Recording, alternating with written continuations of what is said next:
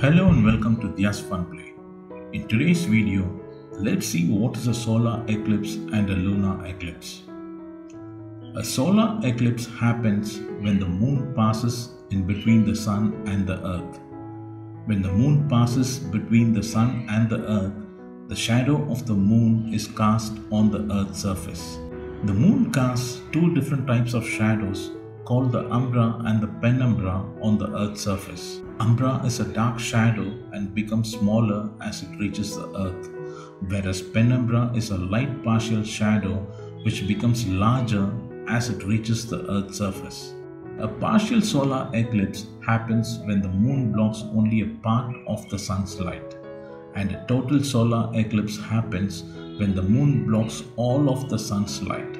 During a total solar eclipse, daytime gets so dark that it looks like night time during a full moon day. But total solar eclipses don't happen very often over the land where people can see them. Now, let's see what is a lunar eclipse. A lunar eclipse happens when the earth is positioned precisely between the moon and the sun.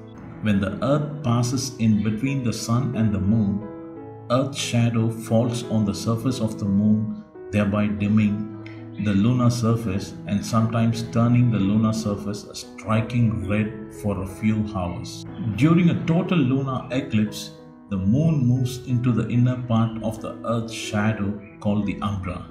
Some of the sunlight passing through the earth's atmosphere reaches the moon's surface, lighting it dimly.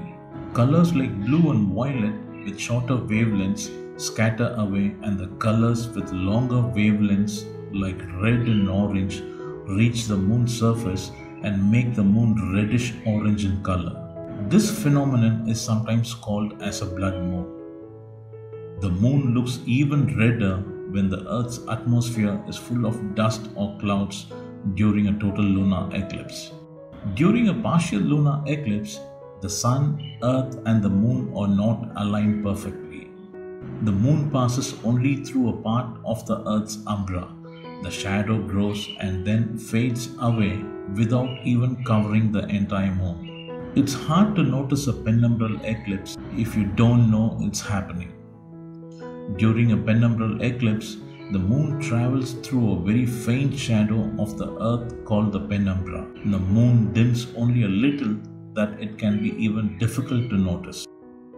Thanks for watching DS Fun Play. See you in the next video. Subscribe for more videos. Why not subscribe right here, right now? Don't forget, press the bell icon. The choice is yours. The S